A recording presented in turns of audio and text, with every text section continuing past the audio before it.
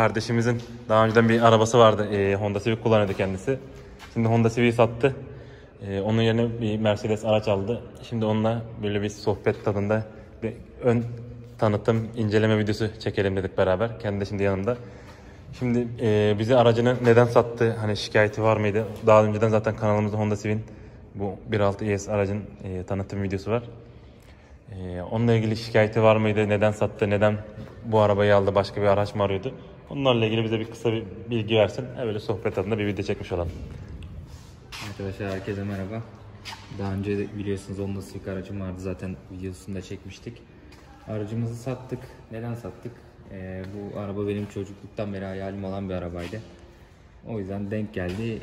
Aracımızı da satın almak isteyen bir arkadaş vardı. Ona sattık. Ee, bunu aldık şimdi. Zaten Honda Civic biliyorsunuz bayağı temiz bir araçtı. Masrafsız bir şekilde verdik. Şimdi bunu aldık. Bu aracı da biz İzmir'den aldık. Ee, E200, CCLK 200, kompresör, avantgard paket. Ee, aracımız bu şekilde. Bazı Şimdi- ufak tefek eksikleri var aracı. O şekilde bilerek aldık zaten.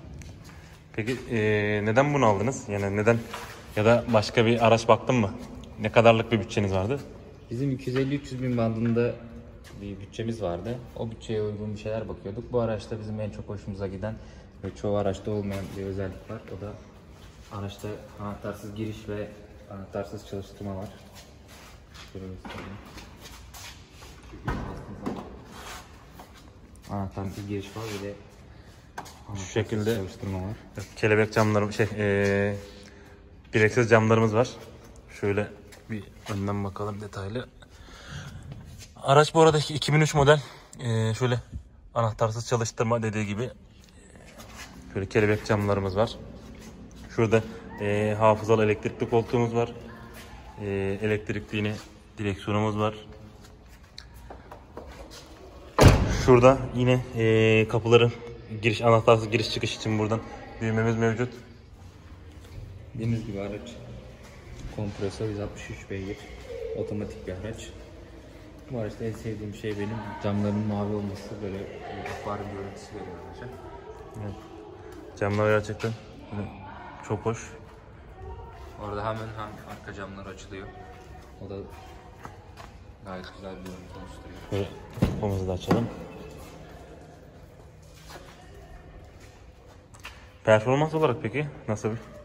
Performans Yani olarak- Honda'ya göre kıyaslarsak. Yani onda göre tabii ki yine kompresör olduğu için bir fark var ama bu araçta biraz daha böyle hızlı gideyim vesaire tarzında bir şey istiyorsanız tabii ki 320 almakta fayda var.